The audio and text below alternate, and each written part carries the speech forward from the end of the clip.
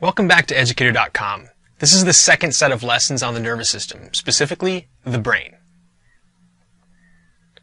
The adult brain is composed of 100 billion neurons, which is amazing to think about. That's a lot of cells. In the first few years of life, you actually lose a lot of brain cells. Think of it this way. Uh, a baby, their brain is like a giant untamed bush. And you don't need all of those little leaves and all of those little branches to have the bush, you know, look nice and serve a purpose. So imagine that the baby brain undergoes a lot of pruning. You kind of clip certain parts off that aren't necessarily needed, and it becomes this nice functional shape with compartmentalized parts. So actually, uh, proportionally, baby brains have a lot more neurons than they need. And by the time you get into your adult life, you're not really making uh, hardly any neurons anymore. The ones you have are the ones you're going to use until the end of your life. The brain is a part of the central nervous system, and we're going to abbreviate that in the future as the CNS. And the central nervous system, unlike the peripheral nervous system, contains the brain and spinal cord.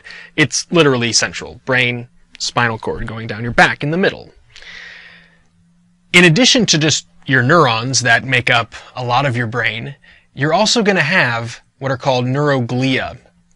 And these are specialized kinds of neurons that don't do just the regular signaling, that they don't just do the sensory and motor part of how the CNS works with your body. The first one is oligodendrocytes.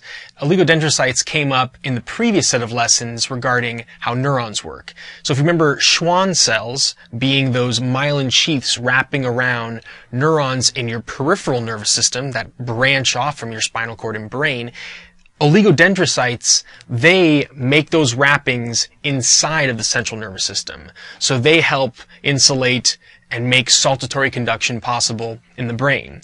Astrocytes, uh, they maintain the blood-brain barrier. They have a lot of functions, but I find this the most intriguing, that astrocytes, which kind of look like little stars, um, that's why they're called astrocytes.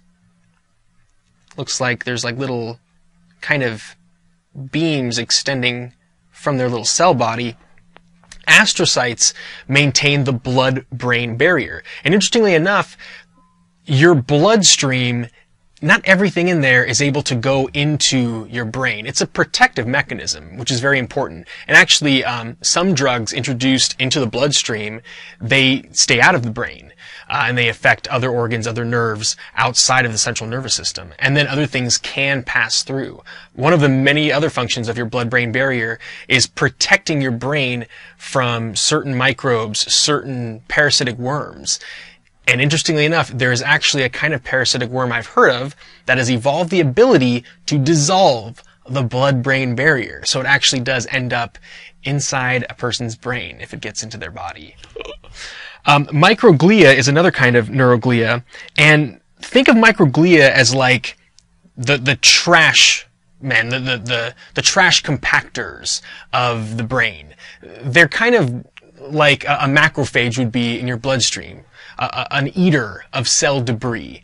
So they go around doing what's called phagocytosis, where they grab stuff outside of the cell, uh, outside of themselves, like let's say it's uh, it's waste that's accumulated. Um, it might be some kind of foreign invader that got in there and it shouldn't be there. So they're cleaning up the trash in your central nervous system. And finally, the ependymal cells. You're going to find these more often around the ventricles, which are the little hollow cavities. You'll see more about those in the future on this presentation. Uh, they're like little holes, little cavities inside the brain. And the central canal, another cavity that you're going to find in the spinal cord, you would find these cells adjacent to those spaces, deep within the central nervous system, because they help produce what's called cerebrospinal fluid, and they help regulate it and kind of monitor it in case something goes wrong. And they and they do help uh, produce more of it if it's needed, or produce less of it if there's already plenty. When it comes to brain development, uh, you start small. If you look inside of a of a tiny little uh, embryo, on a microscopic level, you have what's called a neural tube that first develops. And it's just very simple sets of neurons that are lined up and there's a hollow uh, section in the middle. So it is like a tube. That tube ends up getting little pockets. You can call them brain vesicles if you want. So at three weeks, let me actually color code this for you. You would see three main sections. And up here, this is the anterior part towards the front. And back here is going to be the posterior part. Up at the anterior part, you would call this first bump the prosencephalon.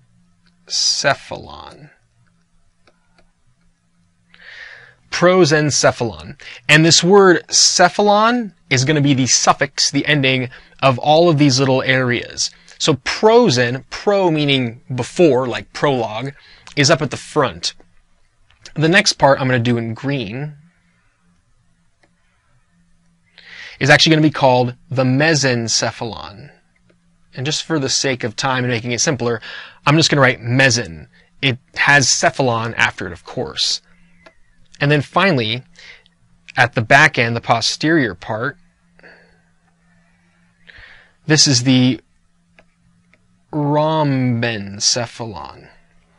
And that's at three weeks. Uh, usually before a woman even knows she's pregnant, this has already happened. Prosencephalon, mesencephalon, rhombencephalon. At six weeks, it gets a little bit more developed and expanded. So I'm going to still use black for what happens to this anterior vesicle. It actually becomes two areas. It grows into what's called the diencephalon and telencephalon.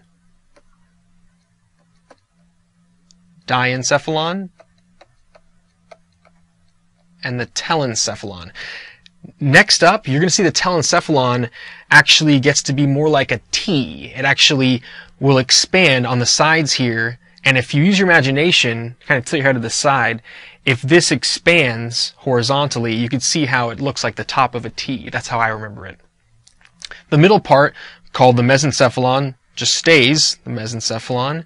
And actually, the mesencephalon is a part of the adult brain. So this is not going to take on a different name as we go to um, the parts of this um, uh, brain tube, if you want to call it that, up until birth.